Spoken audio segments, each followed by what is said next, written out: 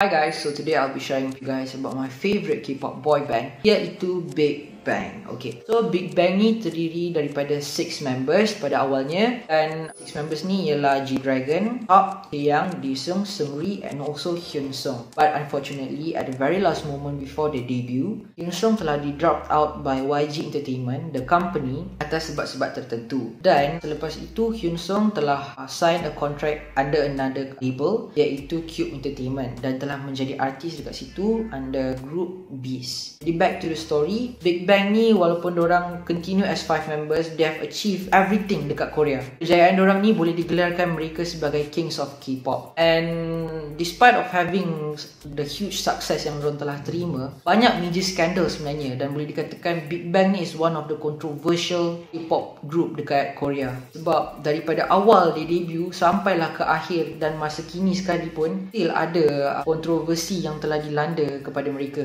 Uh, as the first apa contoh uh, iaitu in 2007 a year after the debut. And this is the first EP title iaitu Lies composed by G-Dragon mereka telah plagiarize lagu uh, daripada Free Tempo ni iaitu Sky High Namun pihak uh, daripada Wise Entertainment telah berjaya untuk menghandle segala masalah daripada Tempo ini. Jadi semuanya telah settle. Next uh, scandal iaitu pada 2009 pula. Yang ini melibatkan Florida, artis Eropah yang terkenal dengan lagunya Right Round yang di mana peminat-peminat Korea telah mengesan bahawa ada similarity in the songs of solo album daripada G-Dragon iaitu Heartbreaker dengan lagu yang telah dikeluarkan oleh Florida iaitu Right Round. Kali lagi YG Entertainment telah berjaya menguruskan masalah ini as they offer and also terbangkan Florida daripada tempat beliau ke Korea untuk membuat collaboration with G-Dragon and do a remix of the song and perform it on stage. Uh, dekat sini memang you can see how high does uh, influence yang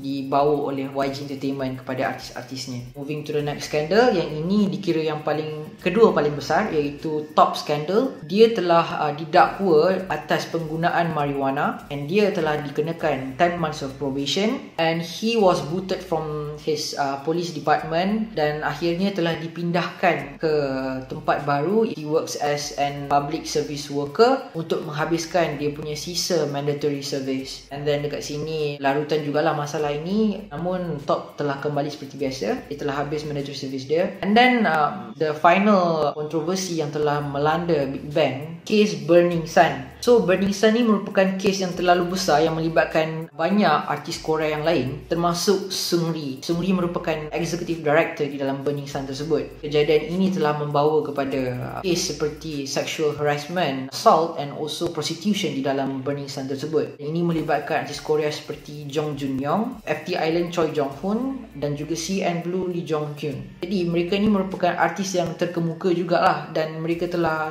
menimbulkan masalah seperti ini and then beberapa artis tersebut telah dimasukkan penjara dan kes uh, di antara Seungri ini masih lagi berlarutan. And then after that yang paling latest pun uh, tentang aktiviti Big Bang ini setelah all the members finish their mandatory service daripada 2017 until 2020 the latest activity is waktu 2020 uh, March tak silap. Ada guest list untuk Coachella Festival telah dirilis oleh the management yang bahawasanya ada Big Bang di dalam guest list tersebut dan kemudian silap di cancel uh, atas sebab COVID-19 ini. Uh, jadi harap-harap semuanya akan kekal seperti biasa kecuali Seungri yang telah mengumumkan tentang retirement beliau di dalam industri K-pop dan YG Entertainment telah uh, apa terminate his contract. Thank you that's all.